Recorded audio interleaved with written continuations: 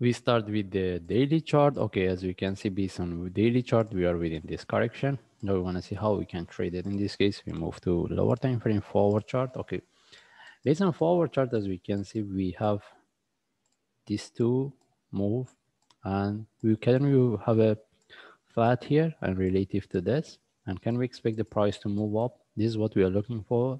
And based on this analysis, if we consider, then we need to look for buy within this correction.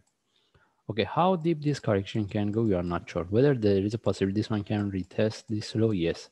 But if we get any buy within this correction to break this top, we are more interested. Whether from there, if there is a continuation or not, we need to confirm when the price reach this high. But if we get any buy, we are more interested based on four-hour chart. We don't have any buy setup. In this case, we move to lower time frame for one hour chart. Okay. As we can see, the price is moving. And right now, I don't think we can get any buy setup within this range. If we if this one continue and break, continue and move up, the only way we can trade having entry above this. Okay, again, having entry above this, when we want to have a trade by having entry, what we expect, we want the price tag, break and continue. But if the price tag we see is not moving, is correcting, after one or two hours, if we see is not moving, we take over the trade.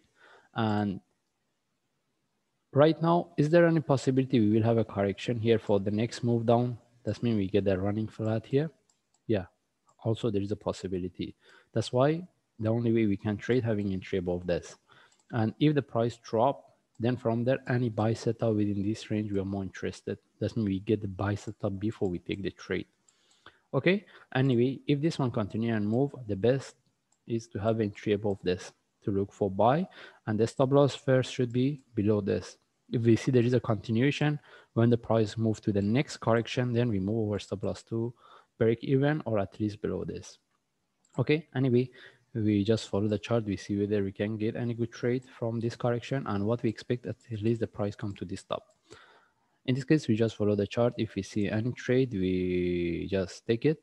And if I see any changes or any update, I will share on YouTube. Thanks.